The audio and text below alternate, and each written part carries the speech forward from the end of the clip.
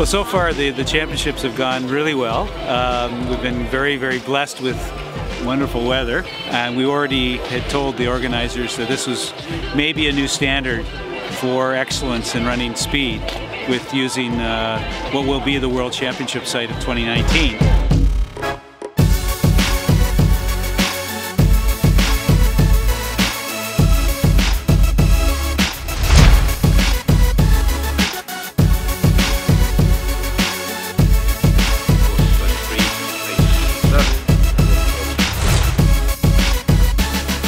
This is your first time in Sweden. How do you like it so far?